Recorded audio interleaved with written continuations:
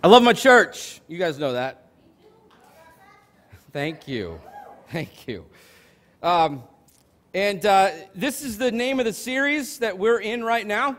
And uh, this morning we're talking about keeping the faith. Uh, we're going to talk about, uh, I wouldn't say it's uncomfortable, but we're going to talk about an idea that not many people really enjoy. And it's the word accountability. And accountability is really an idea that um, you find those friends in faith, people that um, are, uh, uh, you know, a, a, match for you, like a buddy that can um, hold you up, who can talk to you about where you're at, who can um, tell you the truth when you are um, making some not so good choices. Uh, I don't know if you guys have friends like that, but the church is a great place to find friends like that. Um, you know, the, the, uh, the pastor shouldn't be the only one to um, tell you you're being naughty. Um, your friends should tell you too. You know, your, your friends should be there for you too. Your friends should be there to encourage you, to um, tell you, look, uh, this is not a good choice.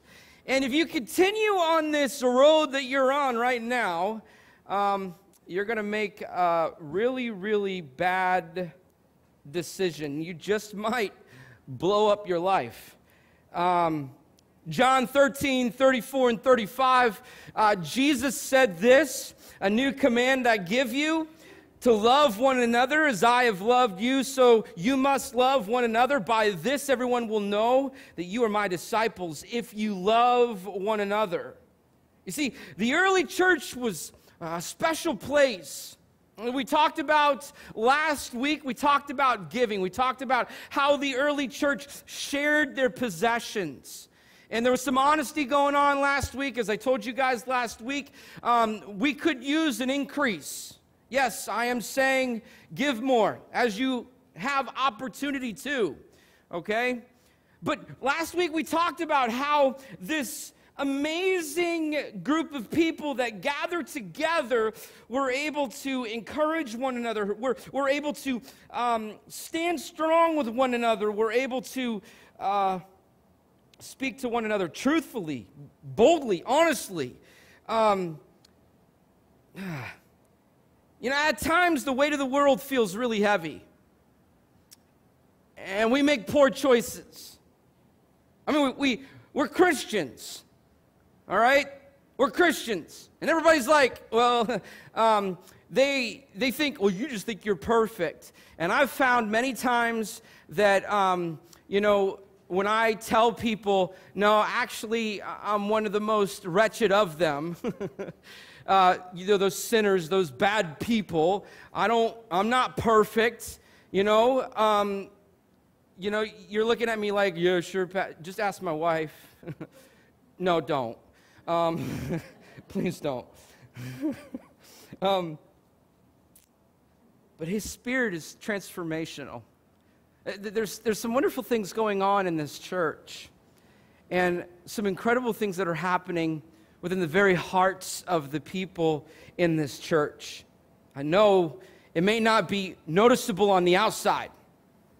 I know that it may not be recognizable, like, like we say, yeah, God is moving and God is doing some awesome things, but we may not recognize it. I recognize it. Like you can see hearts that are truly changing. Revolution is happening. Like we get our minds set on revolution, like, okay, if, if God was moving in huge ways, the building would be packed and there would be tons of, of, of no seating left. But I'm telling you right now that the conversations that I've had with personal individuals is telling me clearly that change is happening. People's hearts are being affected by the truth. His spirit that dwells in us is affecting us. And here's the thing in this revolution that happens, it happens best right here with the family.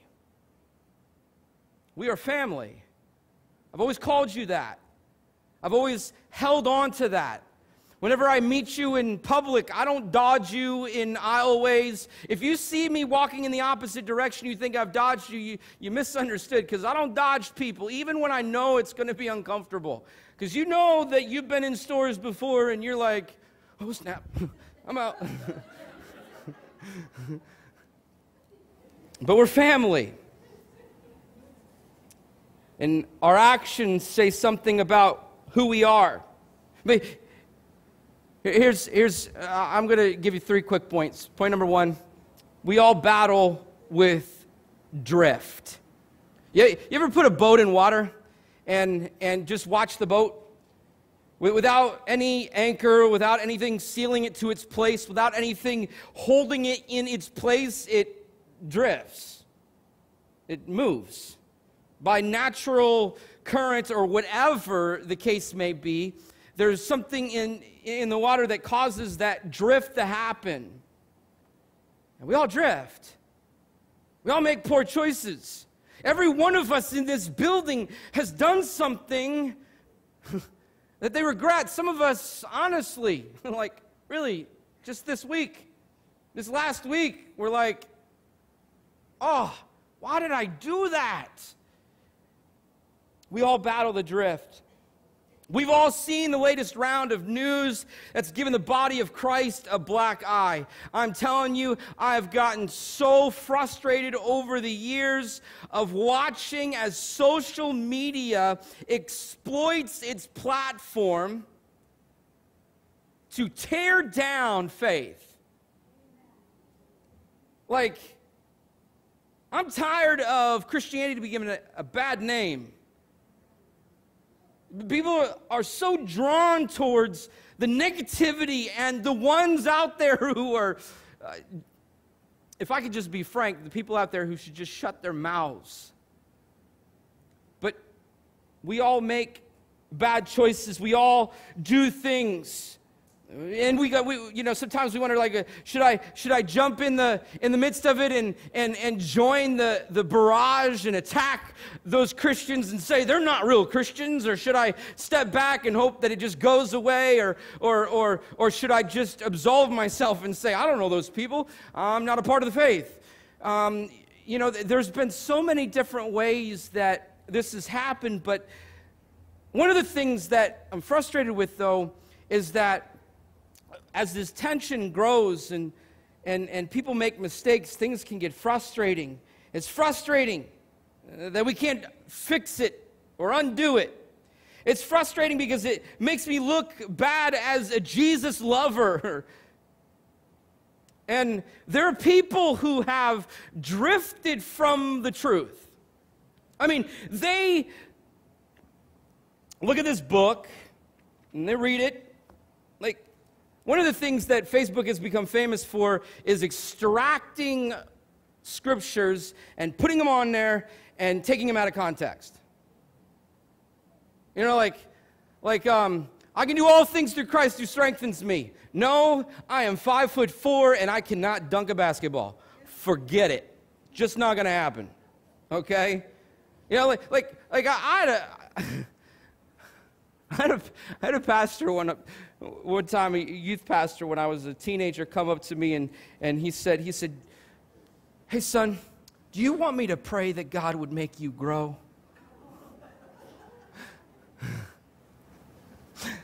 there are some ways that God has designed us and made us that we should not mess with. You know, that's like a scripture taken out of context. I can do all things through Christ who strengthens me. In the Bible, there, Paul is talking about, he's, he's facing some like serious trauma. Like some stuff is going down. And he's being backed into a corner, and there are people that are persecuting him. I mean, like really persecuting him. And he's saying, I can do all things through Christ who strengthens me. Okay? And the, the, the, the text today is in 1 Timothy. 1 18 through 20. And as we're talking about battling the drift, because we all battle it. Like, you ever, you ever woke up one day and you're like, how in heaven's name did I get here? Like, what happened? I mean, like, I was. I was a church going person. I was loving Jesus. Things were going well for me. Things were happening. And then we took a couple missteps. Um, we made a couple poor choices. We uh, went to a wrong family or friend gathering and we blew our life up. We started feeling for an individual that we shouldn't have felt for, like an emotional and personal way. And, and, and, and something happened. Paul here is speaking to Timothy as a, as a, as a spiritual mentor. He's, called him, he's calling him to step up. He's giving him a charge. He's like, Look, my friend, step up, hold on. And Paul can get kind of bold, so at the end of this uh, set of verses, Paul uh, just kind of sticks it to a couple of guys because they just keep messing up. But um, I just want to warn you of that because Paul, Paul at times he was just like, I mean, he just he, he gut checked a few people a couple times. If you read the New Testament, if you read, you know, Saul who became Paul, you would recognize that Paul didn't pull punches. Um, but in 1 Timothy 1 18 through 20, it says, Timothy, my son, he called him a son. I mean, he was close to him. He says, I'm giving you this command in keeping with the prophecies once made about you, so that by recalling them, you may fight the battle well, holding on to faith and a good conscience, which some have rejected. And here it is right here. And some have suffered shipwreck with regard to their faith. Some have suffered shipwreck in regard to their faith. Among them are Hymenaeus and Alexander, whom I've handed over to Satan to be taught not to blaspheme. I mean, he just like, you know, I'm reading this and I'm like, I don't know if I should include that, but but like Paul was just like, these two guys blew up their life. They made poor choice after poor choice, and it shipwrecked their, their life. We all battle drift. The church is planted on solid ground, a foundation of truth, but it takes a few missteps. And sometimes we can feel like our relationship with God is burdensome and boring. Sometimes it can get dull and difficult. Sometimes we can experience routine and we can feel like going to church is rutted. Like, okay, got to get up Sunday, got to get myself together, got to try to get out of the house without beating one of these kids. Come on, guys. You've never been there before? Like for those of you guys who have had kids, like like some kids came to church, some kids were drugged to church. Like sometimes my kids get drugged to church. Okay? It's okay, it happens sometimes. All right? I mean, I'm not telling you you should force faith on them, but like seriously, sometimes it's hard to. Okay. I just went like counseling there for a minute. I'm sorry. Thanks for hearing me out. Um, but these people had taken a few missteps and they shipwrecked their faith. And Paul's like, Timothy, hey, Timothy, friend, son, don't, don't do what they did. Don't follow in their footsteps. Don't allow this curve or this turn that you've seen them do cause you to lose sight of what's important, what is your calling. He tells them, he tells them to fight the battle well, holding the faith and a good conscience. And he uses strong words. He says, which some have rejected so they have suffered a, a shipwreck in regard to their faith. Hey, here's the truth. Point number two we need each other. We need each other. We do. We need each other. We need each other to keep each other accountable, which it's not always comfortable. Like I look at I look at some of the people in this room, and I you know like like um just, to, just to give you an illustration, like, like uh, Sally and Lorette, the dynamic duo. You know, that's what I call them sometimes. Um, these two girls, these two ladies, they, they call each other on the phone frequently. They hold each other up. How you doing, Sally? How you doing, Lorette? How you holding up? How's your faith? How's, how's where you are with God? How you doing? They help each other from avoiding that shipwreck. Here's what I don't want to tell you this morning. See, accountability isn't about policing someone's life.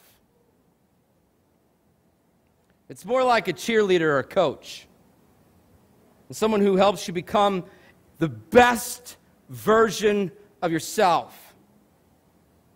A person who's like, come on, you got this. I mean, like someone who's like, like in your corner and they're like shouting out like, like, like Paul was with Timothy. I mean, like, he's saying fight. He's saying fight. Don't allow this to shipwreck your life. How many of you guys honestly and sincerely got a person in your corner who is shouting you down, saying, Come on, you got this. Keep going, keep going. Don't lose faith. Don't lose sight. Don't, don't lose track of where you need to be or where you need to go. I'll tell you right now, like some people, some people are like, like, uh, well, who's yours, Pastor?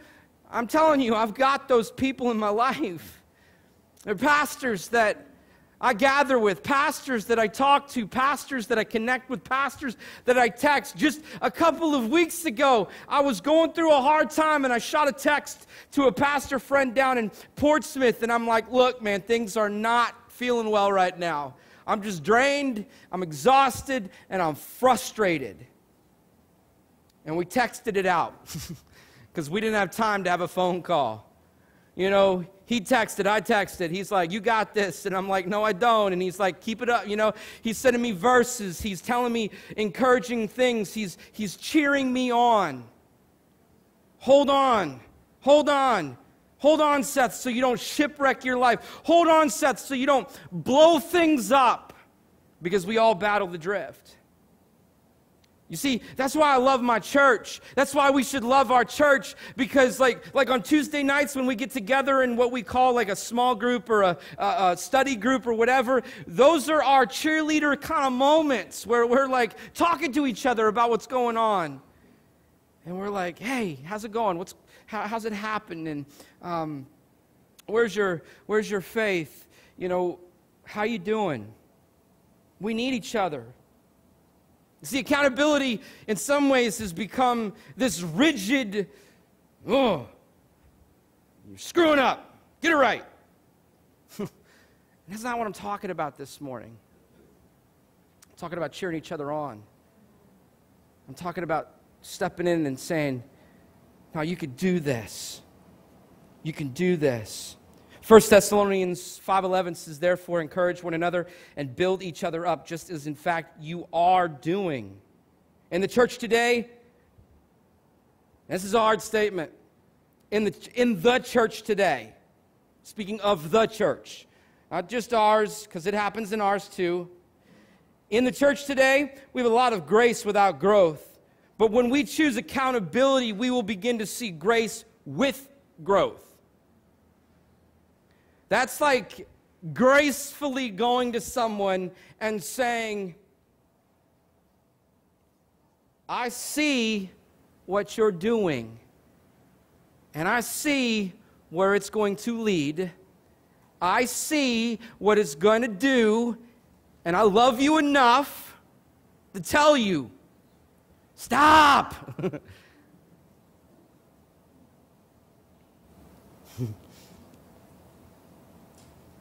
I have it in my notes. I don't know if I should say it, but I'm going to say it anyway. You don't have to continue cycling in the same stupid. We get to grow up. We do. That's why I love my church. That's why I love my church. Now, I, I unfortunately got a, a, call from Val. Sue and Val aren't doing too well. They're at home, they're, they're sick, and, and Ron and Barbara are away. Um, and and uh, with, with family and friends. But uh, that man back there, Jim, who sits on my board, He's awesome. Like a cheerleader in the faith, that coach, that person who says, Come on, Pastor, you got this, you got this. He's praying for me this morning, asking God to just bless whatever it is that was put on my heart to share. Like, he's an awesome, awesome. You guys did well in voting him into that leadership position. Thank you. Jim is awesome. Yeah. He's the one who was instrumental in getting this nasty, dilapidated, falling apart trailer out of here. And man, you guys, there are so many things that happen behind the scenes that we don't even see. Uh, like I can't even, like if I were to like go around the room, I could begin talking about how each one of you individually have cheered me on. Like seriously. Like, you may not think like I haven't said very much to pastor, but like, like you know, you, I come, I come to church and, and, and you come into service and, and, we, and I get a hug and you're like, hey, Pastor, good morning. That's cheering me on. It's giving me hope because we all battle the drift, even this guy. Even this guy.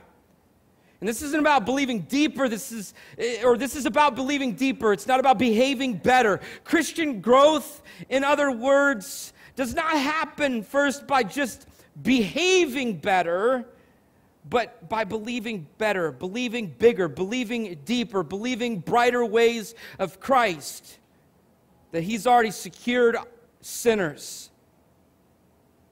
And I personally, and you personally, need family and friends to remind you of this. I love you enough to tell you this, married couples, it can't always be your husband or your wife.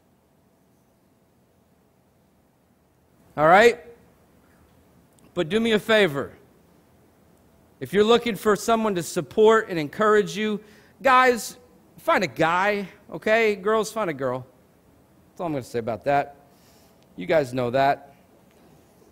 But accountability can be tough, but if we love each other as a church, if we're here for each other as a church, I'm not talking about beating each other down, I'm talking about lifting each other up. The Bible tells us many, many, many times that words have power.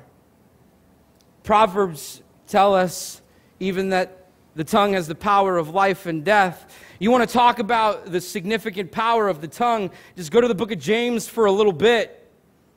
The book of James tells us that a whole forest is set on fire by the spark that a tongue can start. We're called to speak life into each other. And that at times means uncomfortable conversations, but those uncomfortable conversations lead to you becoming a better person. And last, I want to tell you if you don't have a friend, find a friend. Find a friend. I know that there's some folks missing this morning. I know that. That some of you have friends already in this building that, that you call, that you go to, that you, you reach out to. Some, some of you have friends that, that might not even be here in this building. Some of you have friends that are in other states or other cities, other counties, or whatever. But we need to find a friend. We need to find a friend. I'm, I'm excited because, uh, you know, I'm, I'm a little bit of a Disney Pixar fan, but Finding Dory's coming out pretty soon, and I'm going to take my kids to go see it. But um, if you've ever seen Finding Nemo, like, Marlin needed Dory, and Dory needed Marlin. For those of you guys who know what I'm talking about, some of you guys are like, I've never seen it. Go rent it or something. I, I, I mean, go to the, I, I don't know, it's probably not even at the Red Box. I don't know how you can go see it. I, I got a DVD. I can let you, I'll give it to you if you want to see it. But um, they like needed each other. Like every time Marlin was like, oh, I feel like giving up, I feel like quitting, I feel, you know, I, I lost my, Marlin lost his son in this movie. And Dory was just this airheaded, like, short term memory loss person who just like, Every time Marlin needed some like support, like, come on, don't give up on your son, she was there to cheer him up. yeah, yeah, okay, you can stop. I was, I was thinking about that, but I thought it would make it completely awkward, and it really did. I think there were two of you that started saying that, wasn't there? yeah. I mean, seriously, I know it's, it's kind of corny, but it's real. And, and, and, then, and then there, comes, there came that point when, when, when Marlin started cheering on Dory when she couldn't remember something important to her. See, there was a bond there. There was something that happened there. There was a friendship that took place. And that, that, that bond, that friendship was strong.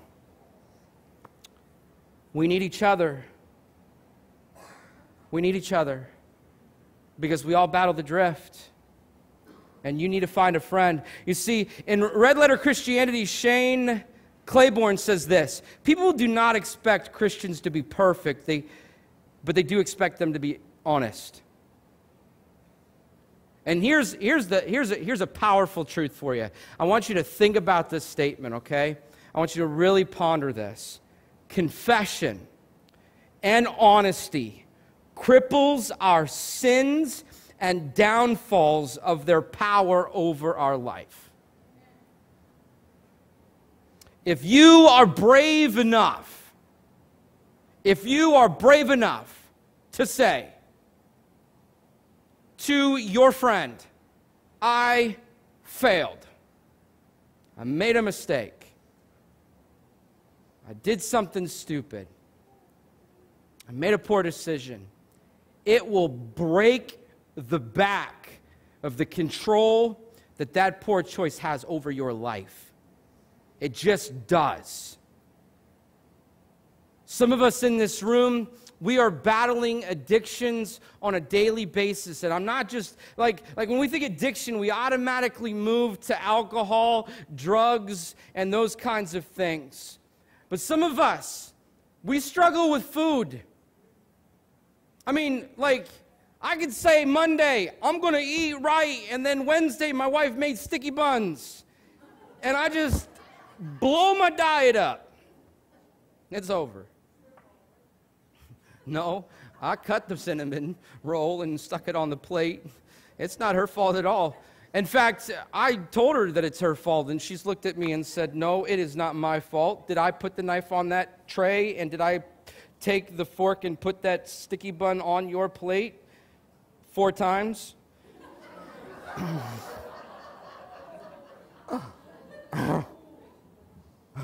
it's.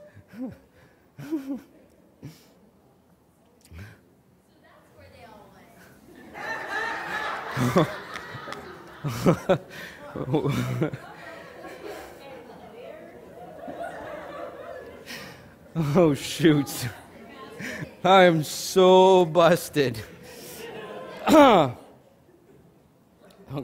See, did you, did you just see what just happened there? the PK stopped being the, the example or the illustration. She just switched in on me. This girl's smart. I just became the illustration.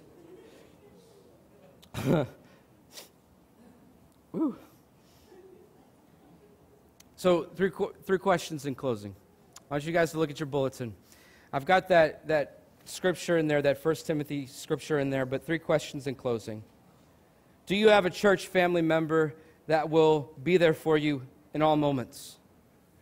Do you? Do you? I mean, like, seriously, do you? Do you have that person? Do you have that friend? And it can, it can be hard. I mean, let's be real. Um, some of us can be kind of awkward and we're not very comfortable talking to people. Like, you know, like when, when pastor stands up and says, okay, go find some new people and hug them, and you're like, oh, great. I got to go to the bathroom. I'm out and you go and hide for a few minutes, then come back in because it's just, it's challenging to meet new people. It's hard. I know. I know. I know. It's not easy, always easy being outgoing. It's not always easy to find that friend. But do you have a church family member that will be there for you in those moments? Not a policer who's gonna, I don't even know if that's a word, not, a, not a, someone who's gonna police you and gonna get on your case when you uh, do something wrong, but someone who's gonna hold you up and love you and sincerely tell you you don't stop, I see where this is headed. I see where this is headed. I see what you're doing, and I challenge you to fight harder, like Paul told Timothy. I challenge you to fight harder. Do you have someone? And who can you ask to be a friend today? What you think about. And last, how will you be there for your church family? Someone may ask you. You may get a phone call, and someone might be like, um, hey, I'm not doing well. I'm not doing well. I'm, I'm at work, and uh, there's this uh, individual, guy or girl, just keeps showing me attention that nothing's happened, like physically, but there's an emotional bond that's starting to happen. I need your help. Can, can, can you encourage me? Can you pray for me? Can you help me out? Some of you guys are celebrating sobriety still. And there are times in your life where you just like, had enough, I need a drink. And you needed someone to call and say, hey, I'm going to make a poor choice. In fact, I've already gone to the outlet and I've got a bottle of whiskey sitting right in front of me. I need some help. I need some help. I mean, it, it could be anything. It could be anything. I think one of the most silent uh, things out there that people are the quietest about is probably pornography. Some of us, we need a friend who's going to say what needs to be said to pull us out of that. Some of us need to be that person who says what needs to be said to pull them out of that who's not going to knock them down or betray their confidence and trust. Who's going to go and say, who's going to go and say, hey, such and such, I really need you to pray for my friend. And then, like gossip. Okay? Because that's not an excuse to gossip. It's happened too many times. Someone has talked to somebody, and they have trusted somebody, and then that somebody has called somebody else, and they say, I don't want to, I don't want to make a, a, stir or anything like that, but you know, and I don't want to, I don't want to make things like, uh, uh, I don't want you to look at this person bad, but you really need to pray for this person because, and then it just spills out. I love my church. I love my church. because I really believe that these kind of friendships are blooming here. I really believe that. There's someone who came to me uh, earlier this week and they said, Pastor, you know what we should do? We, we should start having some like uh, after church like lunches, like for just random reasons. Just like doesn't have to be like a special event like Easter or, or Thanksgiving or something like that. We, let's just start having some lunches so we can get together as a family after church. I think it's a great idea. I think it's a great idea. I think we should start doing that. Some of you guys, you leave this place and you go to lunch together. That's awesome. And I want to I want to create some opportunity for us to have a greater family environment. That we can be together, that we can be there for each other. How many times if someone would have just said something to us, would it have kept us from that poor choice?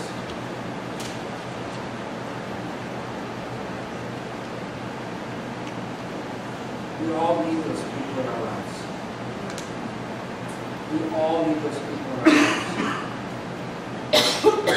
Are going to look at our imperfections and love us anyway.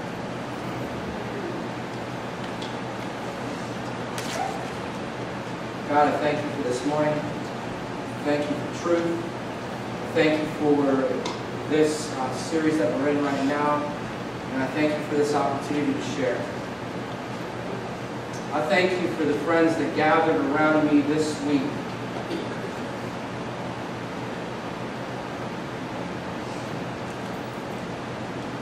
I thank you for the friends that gather around me each week.